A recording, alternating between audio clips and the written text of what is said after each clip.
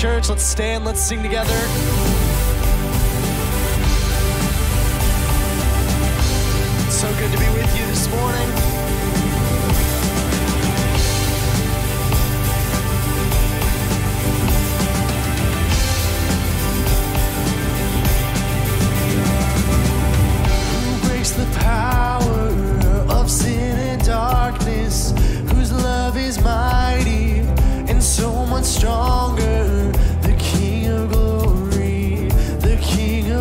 talking.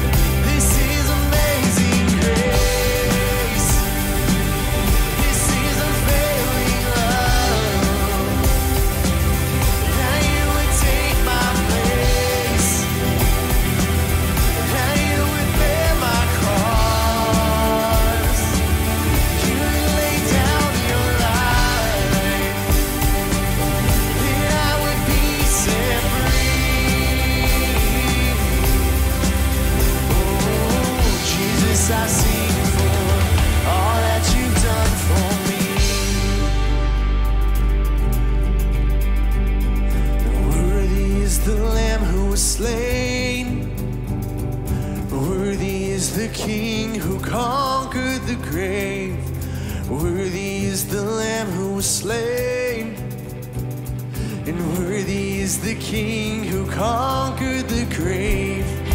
Worthy is the Lamb who was slain. Worthy is the King who conquered.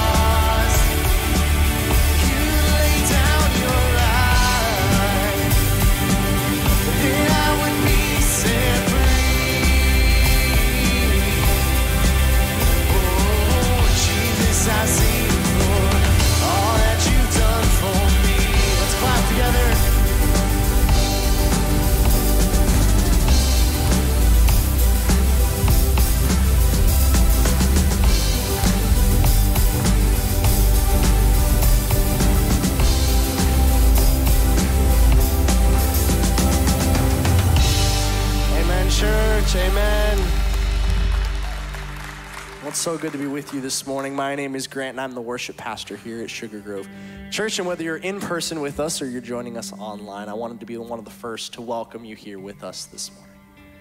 Well, church, our call to worship this morning comes from Psalm 145, verse 4. And it says, One generation shall commend your works to another and shall declare your mighty acts.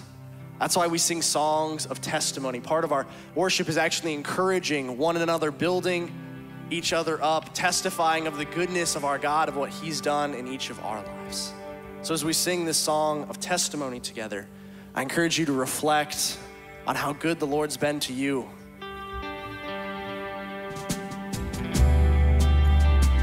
How we've seen Him bring us through difficult times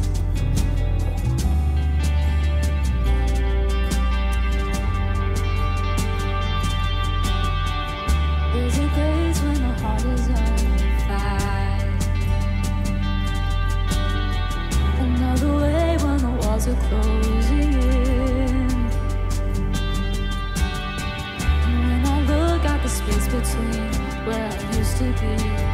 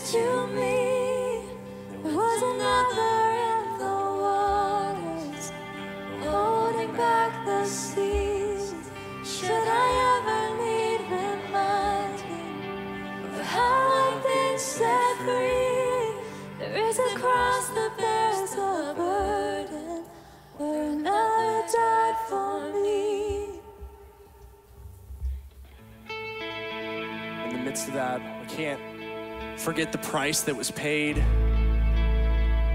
that we could have freedom of Jesus on Calvary, where He died for each and every one of us. And I cast my mind to Calvary, where Jesus bled and died for me. I see His wounds his hands, his feet, my Savior on that cursed tree. His body bound and drenched in tears, they laid him down in Joseph's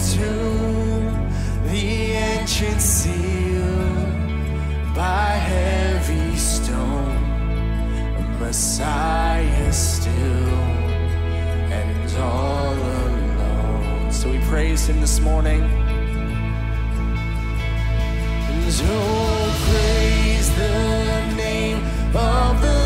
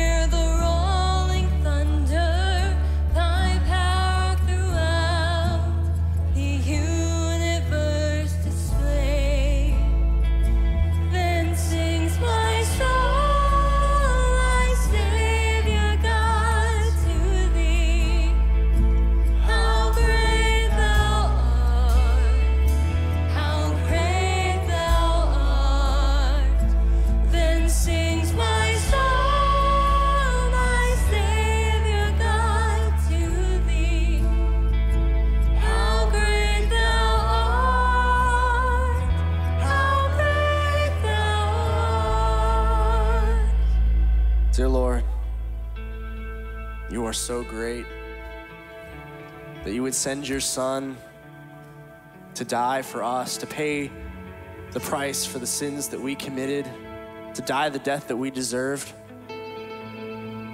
Lord, we live our life in light of that truth, that we have relationships, that we have lives transformed by your Spirit. We love you. We praise you. Also, we pray in Jesus' name. Amen. You may take your seats.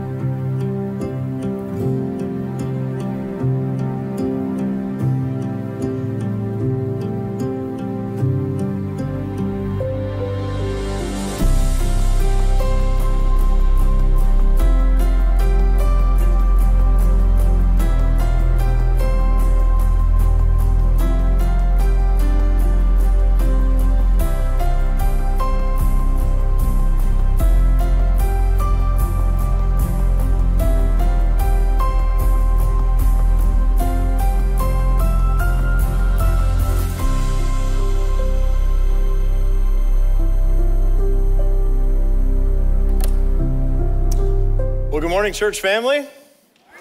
Good to be with you all. I'm Pastor Brett. I get to be one of your pastors here at Sugar Grove, and it's so uh, great to be able to come before the Word of God and to sing to Him together as a church family.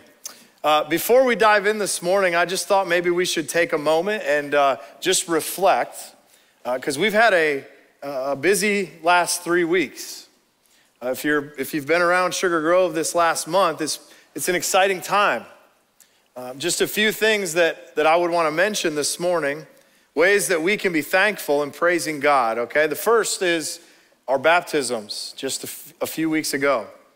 Just an incredible night to see people going under the water in the likeness of his death and being raised to new life. I hope you were encouraged by that evening. Also, we had Good Friday and Easter recently, and we saw lots of new faces. That's great. We love when new faces come to hear the gospel. But we also got to see how, as the gospel goes forward, Jesus is still calling people to new life. We've seen people come to faith over the last few weeks, receiving salvation. It's just an awesome time to just praise God for all that He is doing. Uh, so, before we dive in this morning, I just thought we could bow in recognition of the Lord's work and just honor Him and go to Him in thankfulness, okay? So, would you bow with me this morning? Father, as we come before you as a, as a church body, God, if we just pause and reflect for even a minute, we're reminded of just the infinite ways that we have to be thankful. Lord, we thank you for new life, that as your gospel is preached, Lord, you're still saving people, that your spirit's at work, drawing people to salvation, convicting them of sin, opening their eyes to their need for a Savior. God, what a gift it is that we can see the, the baptismal waters stirring in our church. Lord, that there are those following you in obedience, putting on full display the good news. God, we don't take that lightly. We, we praise you, God. We thank you for your work. Lord, we thank you that we get to be in the fields of harvest, that though we didn't do the work, we get to see people coming to faith. What a gift that is, Lord. God, we pray in this season ahead, Lord, that you would help us as we now disciple, as we teach them to obey all that you've commanded. Lord, as we equip our families to cling to the truth, Lord, to teach it to their children. God, as we as we prepare for our VBS and our summer camp, Lord, that you might use those to draw our children deeper and deeper into fellowship with you. God, help them to know you, to trust you, to follow you, even in a world that denies you, God. And so this morning, we're just grateful, Lord. Our hearts are filled with joy. This is your day. You made it. We'll rejoice and be glad in it. And it's in Jesus' name we pray. Amen. Well, let's continue to worship him by opening his word. If you could take your Bible and turn with me to John chapter 5. We're picking up where we left off on Easter Sunday when we heard that all, all will hear his voice. That there's a day coming when he will call and the dead will rise. And I'm going to read this morning a little bit larger chunk than usual, so I encourage you to follow along with me in your own Bible, and then we'll break it down and study it in some bite sized chunks, okay? So let's hear from the word of our Lord this morning. John chapter 5, verses 30 through 47. Jesus says, I can do nothing on my own. As I hear, I judge, and my judgment is just, because I seek not my own will, but the will of him who sent me. If I alone bear witness about myself, my testimony is not true. There is another who bears witness about me, and I know that the testimony that he bears about me is true. You sent to John, and he has borne witness to the truth. Not that the testimony that I receive is from man, but I say these things so that you may be saved. He was a burning and shining lamp, and you were willing to rejoice for a while in his light. But the testimony that I have is greater than that of John, for the works that the Father has given me to accomplish, the very works that I am doing, bear witness about me that the Father has sent me. And the Father who sent me has himself borne witness about me. His voice you have never heard, his form you have never seen, and you do not have his word abiding in you, for you do not believe the one whom he has sent. You search the scriptures because you think that in them you have eternal life, and it is they that bear witness about me. Yet you refuse to come to me that you may have life. I do not receive glory from people, but I know that you do not have the love of God within you. I have come in my Father's name, and you do not receive me. If another comes in his own name, you will receive him. How can you believe when you receive glory from one another and do not seek the glory that comes from the only God? Do not think that I will accuse you to the Father. There is one who accuses you, Moses, on whom you have set your hope. For if you believed Moses, you would believe me, for he wrote of me. But if you do not believe his writings, how will you believe my words? These are the very words of God. I want you to imagine with me as we get started this morning that you, you just woke up in a courtroom. There's a very hotly debated case going on. Reporters everywhere, witnesses, judge, jury. And the defendant has been accused of blasphemy of stealing someone else's identity. Now, the judge proceeds and the jury begins to preside, and sitting in the defendant's chair is you. You have been called here today because you have claimed to be you. You claim that your name is your name. You claim that your family is your family. You even had the audacity to claim that your hometown is your hometown. How would you feel in that moment? Maybe a little offended, a little indignant, maybe? See, that, that's exactly what's happening to Jesus here in John chapter 5. The religious authorities are persecuting him, they're trying to catch him in a lie so that they can prove him a blasphemer, so they can reject him and get rid of him. Remember, these Jewish leaders are upset because he claimed to be one with God. He claimed to be God. And that offended them. They had no category for that. They were so monotheistic one God, Hear, O Israel, the Lord our God, the Lord is one, that they had no category for Jesus. And so they want to know what gives you the right to tell us these things? Have you ever been told to do something by someone that you didn't know? Right? Like, our, our inclination is not to just listen and obey, is it? No, when we hear from someone we don't know, we're to say something like, Well, who are you to tell me, right? Or if you're a kid, you're to say, You're not my parents, right? And that's kind of who we are by nature. But in our passage this morning, Jesus is responding to their continued questioning of his authority. That they don't believe he is who he claims to be. They don't believe he has the right to claim to raise people to judgment. And so this text is going to raise two very important questions that I want us to answer. So in, in part one, we're going to ask this question What proof does Jesus have that he is God? That's a pretty bold claim he makes. So we want to ask, why can he make the claims that he makes? And then in part two, we're going to see he confronts mankind, and we're going to ask the question what would Jesus have to say to us? What might he say to us? So we're going to hear his testimony and consider what he might say to people. So let's look at it together because at the beginning, he summarizes something that he's already been saying in verse 30. He says, I can do nothing on my own. Now, Jesus is not saying here that he has no power and no authority, right? He's already established that. He's been given the authority to execute judgment eternally from his Father. So he's not saying that he has no power. What he's saying here is that he and the Father cannot be separated. Maybe you've heard the saying, right? Like father, like son. There's this sort of natural phenomenon that happens that as young men, we tend to watch our father and we tend to imitate him and do what he does.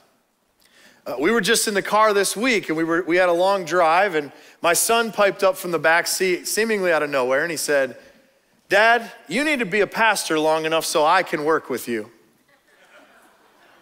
And I thought that's really heartwarming, right? Like, he just assumes that he's gonna be a pastor. Now, I had to be honest with him and I said, Bud, I'm not sure they can handle two of us, okay? So we will pray about that, okay? But what Jesus is saying right off the bat is that everything he does is in perfect unity with his Father. If Jesus says it, the Father would say it. If Jesus does it, the Father would do it. And so the implication we have right from the start is that to oppose Jesus is to oppose God. Now, why is that significant? Well, this means, practically speaking, that any pagan religion claiming to worship God who denies the deity and the lordship of Christ actually blasphemes God. It's impossible to honor God while simply holding out Jesus as just a good man or a good teacher. No, denying the Son is denying the Father. A lot of religions claim to worship God, but if you are not worshiping the Lord Jesus Christ as God, it's invalid. Jesus doesn't allow it to happen. He says it right from the start. And then he continues in verse 31. He says, If I alone bear witness about myself, my testimony is not true.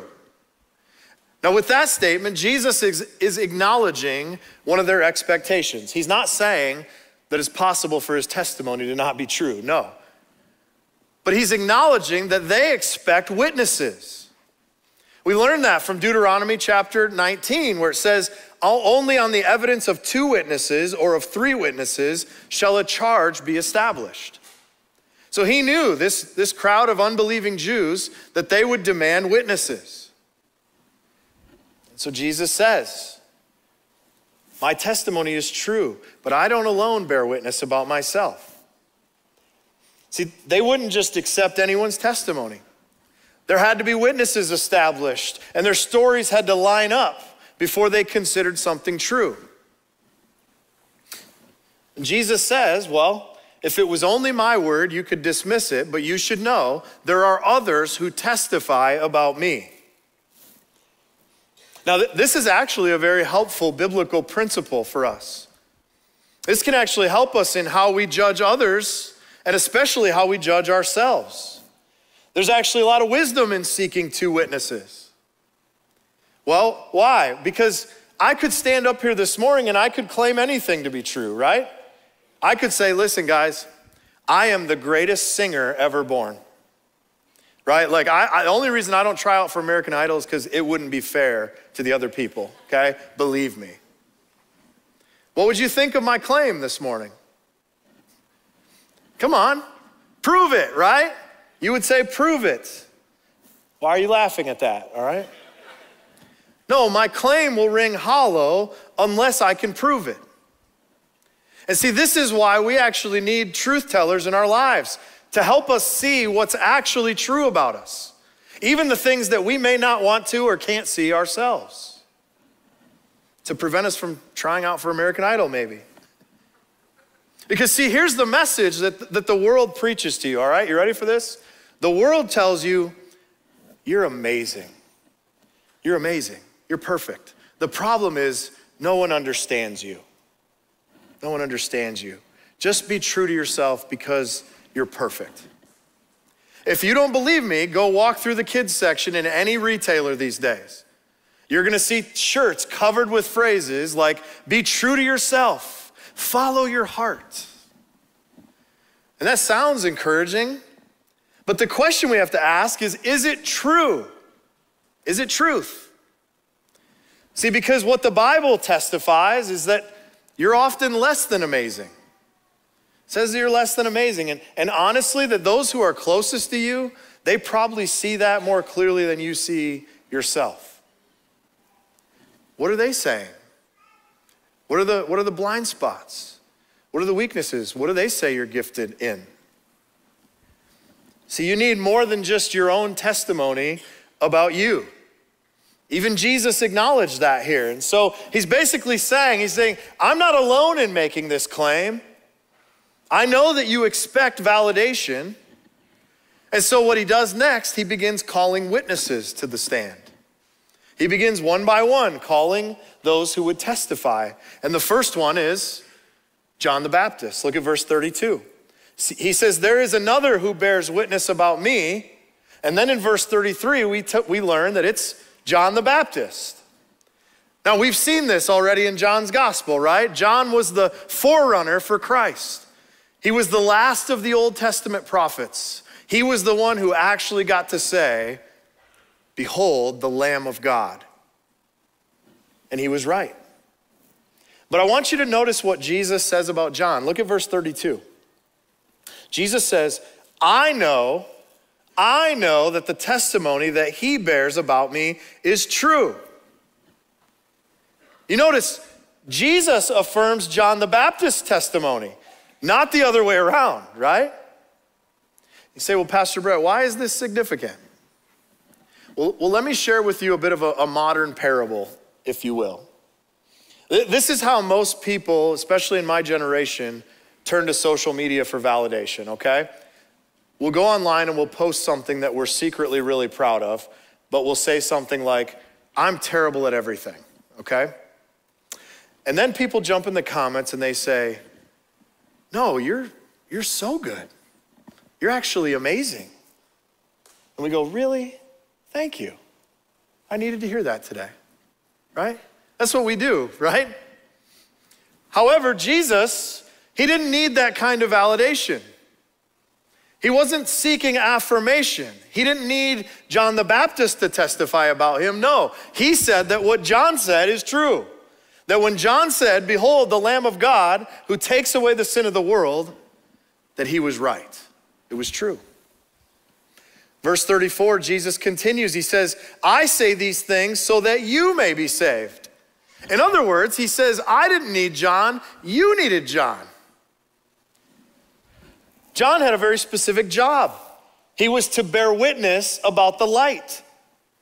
That's why it says in 35, it says he was a burning and shining lamp. Think about that. John was the lamp, Jesus is the light. If you've ever driven at night, right, you see a street light. What does it do? A street light illuminates a very specific section of the landscape, right? You can see within the light until the sun comes up, right? And when the sun comes up, you can see everything. And that's what, that's what Jesus is saying. He's, he's saying, John, for a little while, revealed something to you, but the light has come. And now you can see everything. Now, they, they kind of liked John for a while, right? He was popular, he gained a following. But eventually, like Jesus says here, that for a while you rejoiced. We actually know that John's ministry ended with these religious leaders calling for his head. You know, if you're ever looking for a biblical example of the foolishness of living for the approval of the crowd, it's John the Baptist. John blew up in popularity, gained a huge following. His church attendance was explosive. He had the it factor. And then it says that his popularity in an instant would fade with the powers that be calling for his death, literally. We see the foolishness of living for the approval of the crowd. And Jesus says very clearly here, He says, I didn't need John, you needed John, okay? Witness number one, John the Baptist. Witness number two, Jesus calls to the stand his own works, okay? Look at verse 36. He says, The testimony that I have is greater than that of John. For the works that the Father has given me to accomplish, the very works I am doing, bear witness about me that the Father has sent me. His second witness is that he can do things that you and I can't do. Jesus is talking about his miracles here. That he can do things that bear witness about his real identity, who he is. Now, we tend to get a little bit out of balance when thinking about miracles. We, we either get too distracted and infatuated with the miracles and we miss the message, or we live so skeptical that nothing is ever a miracle.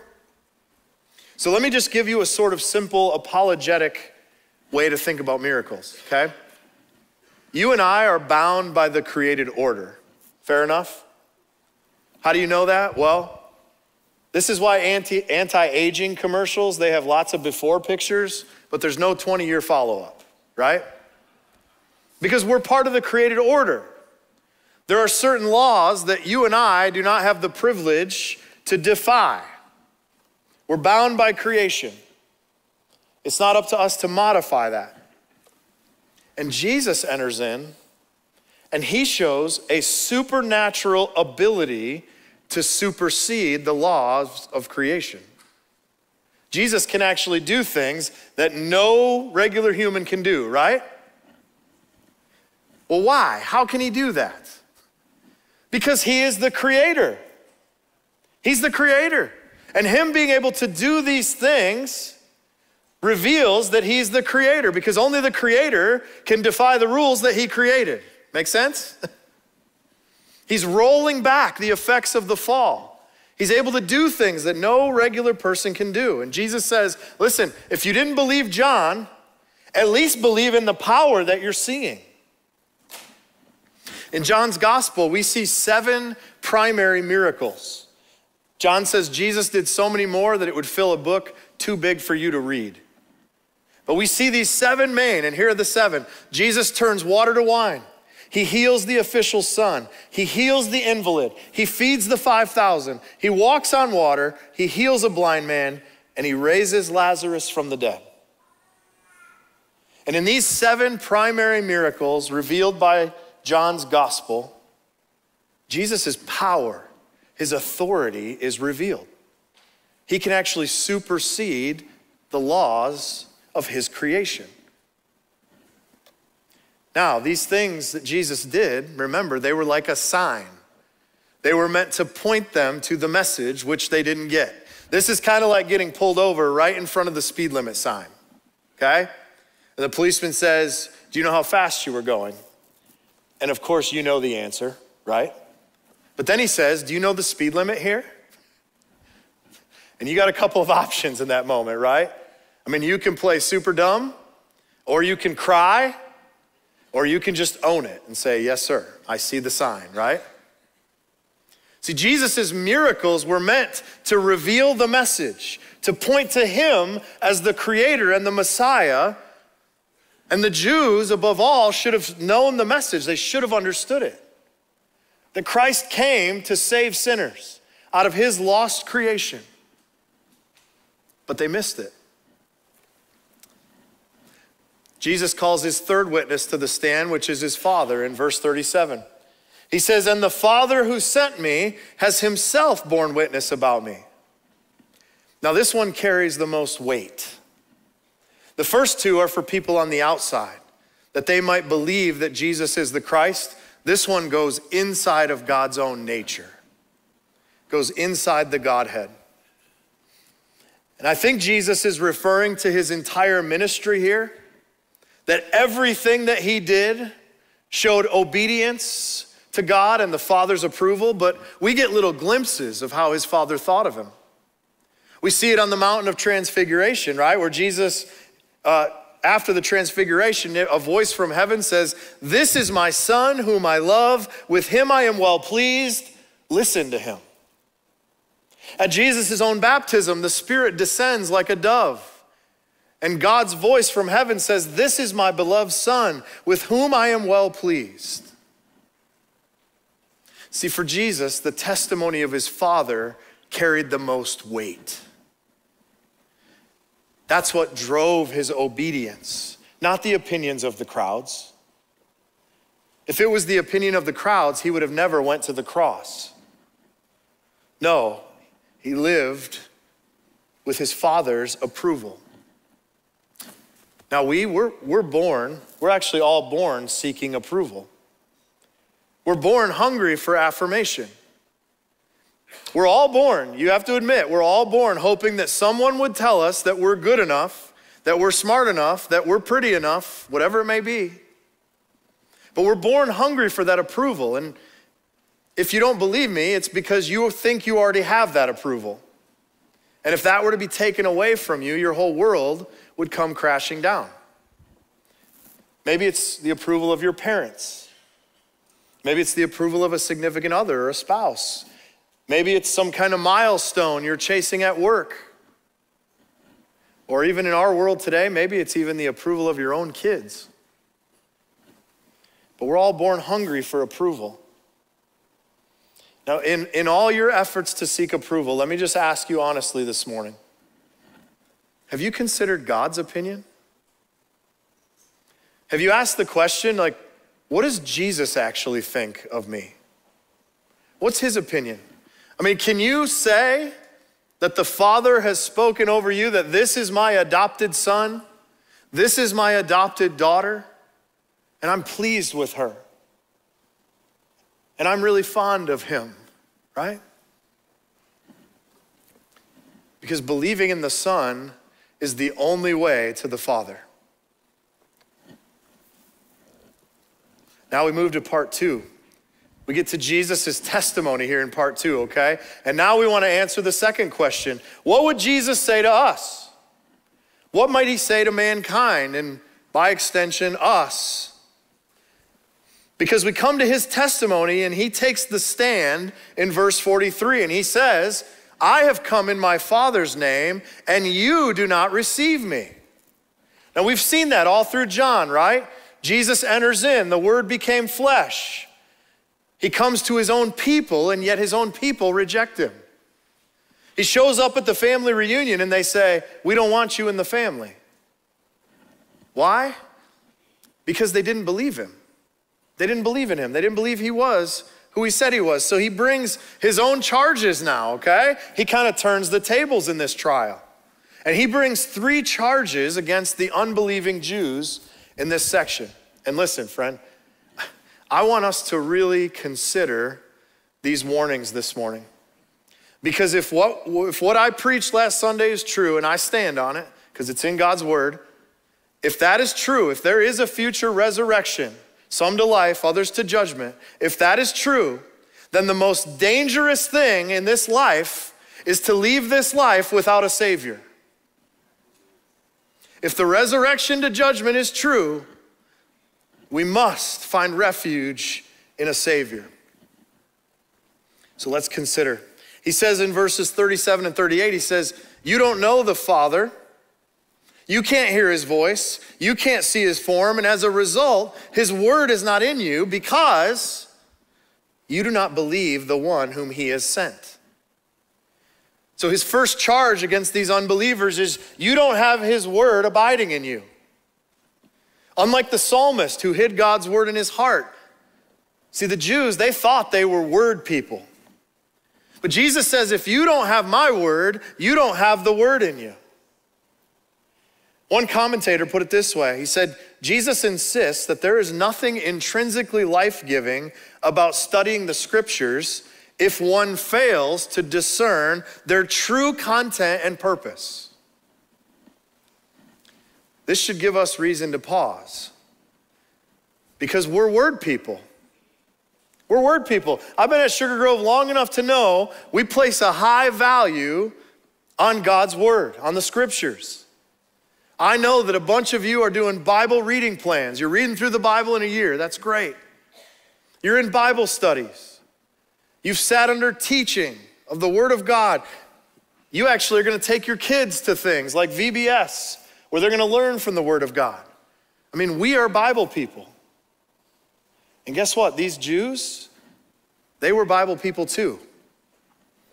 Many of them knew their Hebrew scriptures better than we know our Bible. They, their children would memorize whole sections from the Pentateuch because they didn't have things like iPhones and video games to distract them, right? The difference is they saw the Bible primarily as a book that they just had to do their best to keep. And the same thing happens today that you can really view your Bible one of two ways. The first way is it's revealing a sinful people in need of a Savior. The second is that the Bible is really just a bunch of people who did a really good job, and if you do what they do, you'll be saved. And your perspective on God's Word will change your relationship with Jesus. Those are very different postures. And Jesus warns these Jews, and by extension, he warns us that you can know your Bible inside and out. But if you miss our deep need for salvation through Christ accomplished at the cross, you miss it all. That's what he said. He said, The result is you do not have the love of God within you, in verse 42. Now let's be clear. Yes, the Word of God is living and active, right? Sharper than any two edged sword. That is true. The Word is never gonna fail, never gonna fade. But if you fail to see the true content and purpose of the Bible, you can know a bunch of Bible trivia and still not be saved. Jesus rebukes them in verse 39. He says, You search the scriptures because you think that in them you have eternal life, and it is they that bear witness about me. We have to see Christ is the whole point. I mean, they loved the scriptures, but they didn't get it. If you reject Jesus, you reject God's only way to salvation. The second thing, he brings a charge in verse 43. He says, You'll follow false messiahs. Jesus says, I've come in my Father's name and you don't receive me, but if another comes in his own name, you'll receive him. Now, a little historical context. We learn from the Jewish historian Josephus that there were actually multiple different people claiming to be messiahs at this time. Kind of like a cult leader. They would raise up, they would get a group of people to follow them, and they'd either commit a mass suicide or they'd get arrested by the Romans. And you say, well, why would someone claim to be the Messiah? Power, fame, wealth, glory. The same reason any cult leader ever has come to power, right? See, see, in the first century, they were so eager for a political savior that they were willing to buy a lie. Now, hear me, church. They were eager for a political savior, so much so that they would follow a false Messiah. Jesus says, Look, you don't believe in me, but these people who have no claim to the Father, you're going to follow them? Now, now, we might be tempted to think, like, well, that, that was just an issue back then. We don't really see that today, do we? We don't see people claiming to be the Messiah, do we? Well, let me rephrase the question Have you observed people claiming to be able to fix all your problems? Claiming to hold the keys to success in life? Claiming to hold the secrets to life and happiness and success? You mean every single celebrity, guru, and politician ever, right? This still happens today, 100%. And, and I would argue that as a culture, we might even be more susceptible to buying these kind of lies today because we're living during the rise of the nones in America. N O N E S. Those claiming no religious affiliation, more than 30% of the US. However, just because someone checks none on a survey doesn't mean they're not a worshiper. And if you don't believe me, look at someone's face when their favorite song comes on or they meet a celebrity, right? We get all weepy and starstruck. Everybody worships. And the truth is, by claiming to believe in nothing, people will believe in anything. You know, in 2001, what the fourth largest religion in England was? Christianity, Muslim, Hindu, and Jedi.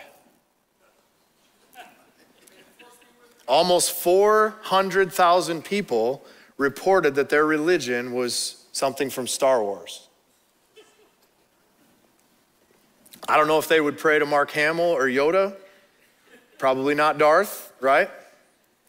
But listen, when you believe or when you claim to believe in nothing, you open yourself up to believing in anything. The most often, the substitute for nothing is anything. And listen, if you don't worship the living God, if Christ isn't your God, something else is gonna be your God every time. Maybe it's something more normal like health and medicine, and you think, man, if I just work out enough and take all the right pills, I'm gonna live forever.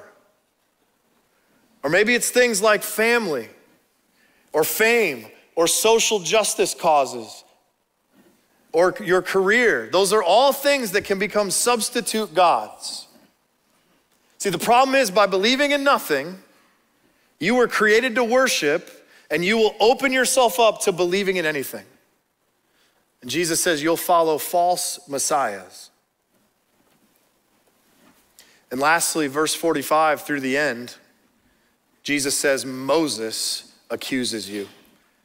Even your great national hero, Moses, will accuse you.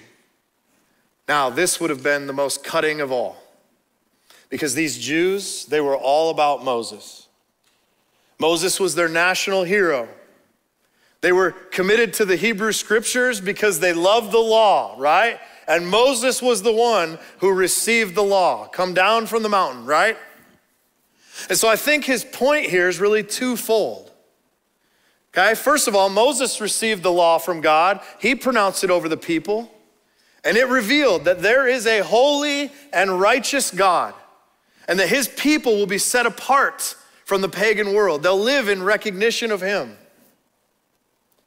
So the law was given to reveal God's character, his holiness. But the law was never meant to save. Sure, the law should convict, right? The law is meant to reveal our inability to keep it, to reveal our need for saving. But what's also re- implied in Jesus' comment is the idea that if you really understood Moses, then you'd know me. Jesus is saying, if you understood Moses, you'd know me. Because Moses spoke of a prophet in Deuteronomy 18. He said that there would be a lion from the tribe of Judah, that there would be one who crushes the serpent's head, a scepter rising out of Israel. And Jesus is saying, listen, Moses wrote about me. Moses was talking about me. If you can't recognize who I am, then you'll even have Moses, your hero, to accuse you on that day. That Moses, your national hero, will be the one saying, Why didn't you listen? Why didn't you see? This is a pretty stinging series of charges here, isn't it? Jesus is very clearly calling out their unbelief. Why? What was behind their unbelief? What's really behind any unbelief? Well, look at verse 44. He says, How can you believe when you receive glory from one another and do not seek the glory that comes from the only God? See, Jesus rebukes them so sharply because they were looking for glory in all the wrong places. I mean, don't miss the application here for your life. Jesus says if you don't believe, it's because you're seeking glory that comes from man. See, we're not so different from them, are we? We are worshipers by nature. We were created to worship, to glorify God, and to enjoy Him forever, right? You and I, our souls actually need to glorify God. But here's the truth He doesn't need us. You say, well, that hurts my heart. It shouldn't. God is not dependent on us for His power. God is not dependent on us for his glory. He is perfect, complete, lacking nothing, okay? No, the glory of God is perfect. It's his weightiness, it's his presence. And listen, the Bible takes the stand and testifies against us. And it says that we are glory robbers by nature. We want to steal glory. That when Adam fell, we all fell. And as a result, we all want to take glory for ourselves. And so instead of seeking glory from God or the glory of God, we look for it from one another.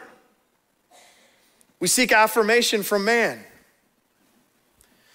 until we realize that our deepest need, our biggest problem is sin and death. All of your other problems are secondary to your greatest need, which is sin and death.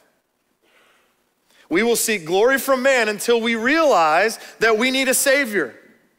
Until we turn our eyes to Christ, we see Him lifted up on the cross to see that He died our death, that He is due the glory.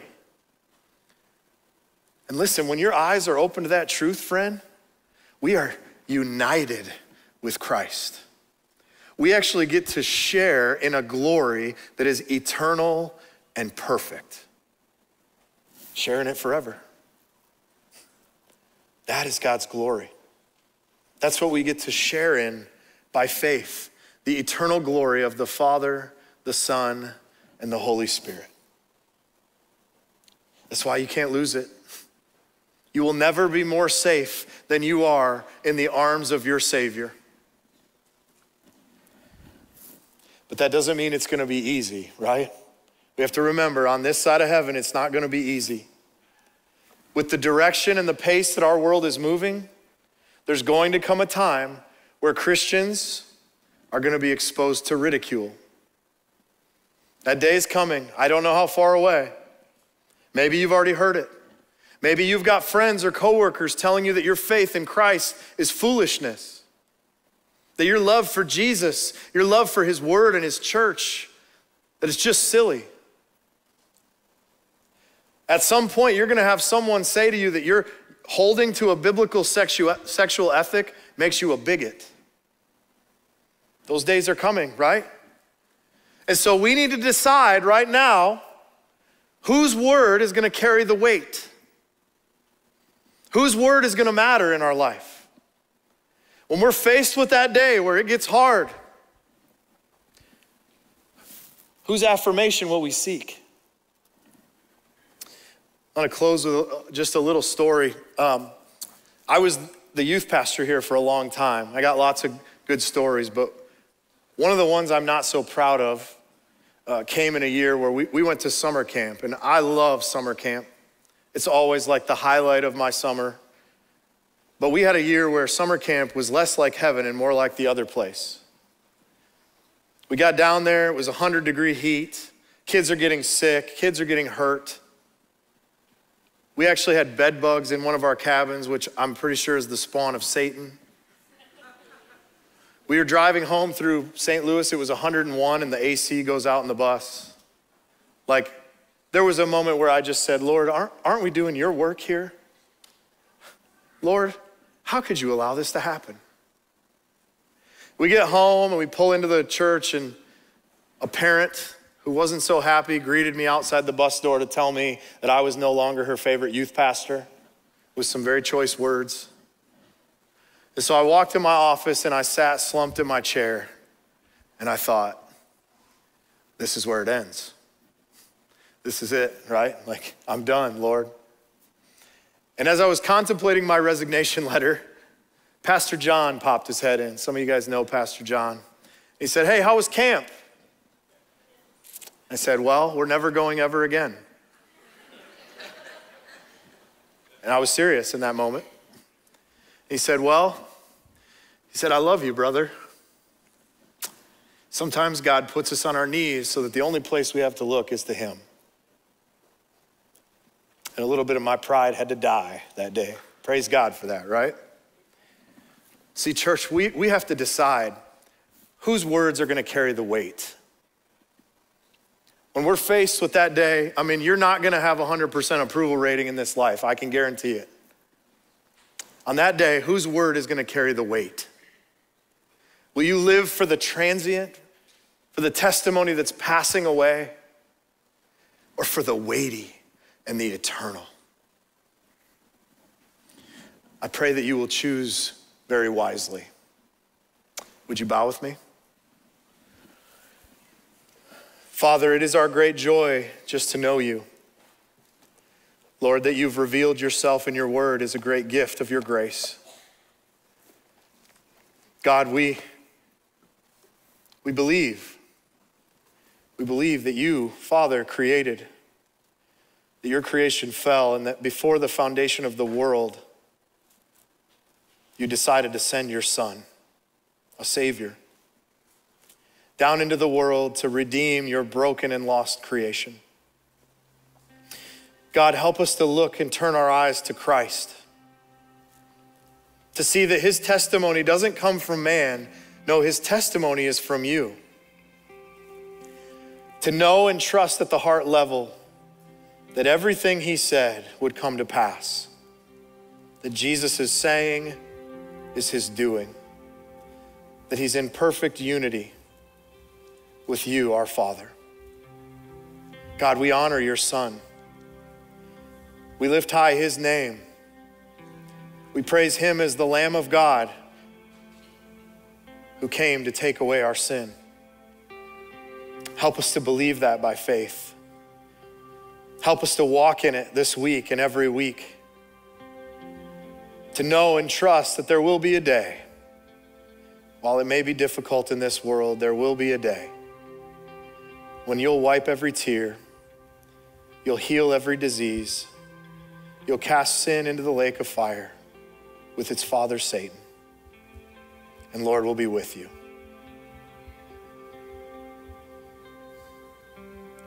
Help us to live for that day in a world that's passing away. In Jesus' name, amen. Amen, church. Will you stand and respond in song with me? As we sing about the identity of Christ, we've learned was testified about. So let's sing this together. And Savior, He can move the mountains. My God is mighty to save. He is mighty to save forever. Author of salvation. He rose and conquered the grave. Jesus conquered the grave. Church, let's sing that again. Just the voices.